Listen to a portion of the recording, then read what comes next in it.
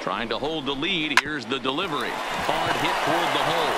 A dive, but he can't get a glove on it. It's through for a base hit. And not in time as the run scores. Dan, you were one pitch away from getting out of this. Two Up outs, next two to the strikes Pirates. on the batter, The and left he's able to throw out a ribby Corey knock. Dero, it's hard to get more frustrated than that as a pitcher. You're one pitch away from getting out of a lot of traffic on the bases, getting into the inning, and next thing you know, you give Putney.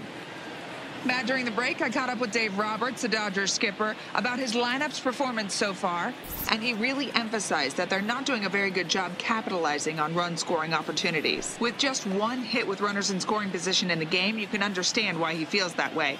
But he also says he likes the way his guys are responding to the adversity. It seems as though they're keeping their energy and mood up, so we'll see if they can start coming through with some big hits as we go forward. Leading off for the Okay, Dodgers, thank you, Heidi. the center fielder, Andrew Joe.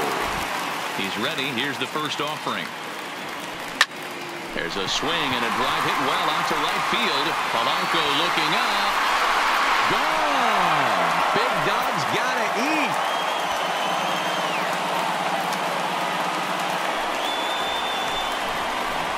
A solo shot here to straightaway right field. His first home run of the season, and the Dodgers move out in front. It's two to one.